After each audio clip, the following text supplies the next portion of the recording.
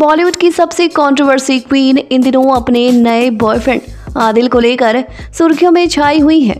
अब हाल ही में actress boyfriend Adil के साथ दुबई में एक अवार्ड शो में नज़र आई। राखी सावंत का ये वीडियो सोशल मीडिया पर तेज़ी से वायरल हो रहा है। राखी सावंत ने खुद अपने ऑफिशियल इंस्टाग्राम अकाउंट पर एक वीडियो पोस्ट किया है। इसके साथ ही राखी ने लिखा कि मैं दुबई में हूँ, मुझे बेस्ट एंटरटेनर का अवार्ड मिला है। राखी का ये वीडियो सोशल मीडिया पर ज़बरदस्त वायरल हो रहा है। एक्ट्रेस के लुक की बात करें तो उन्होंने ब्लू कलर का लहंगा पहना है। इसके साथ ही उन्होंने हैवी ज्वेलरी कैरी की हुई है।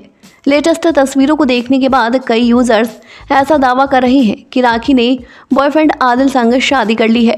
बता दें कि राखी सावंत सोशल मीडिया पर काफ़ी ज़्यादा एक्टिव रहती हैं। हाल ही में उनका ऑफिशियल इंस्टाग्राम अकाउंट हैक हो गया था, जिसका आरोप उन्होंने अपने एक्स हस्बैंड रितेश पर मढ़ा था। वहीं रितेश ने भी कहा था कि वो राखी को इसका जवाब लीगल तरीके से देंगे। दोस्तों, आपकी इस खबर पर क्या राय है? हमें कमेंट करके ज़रूर बताएँ। साथ ही ऐसे और भी वीडियोस पाने के लिए हमारे चैनल को सब्सक्राइब करके बेल आइकन को प्रेस करना बिल्कुल भी ना भूलें।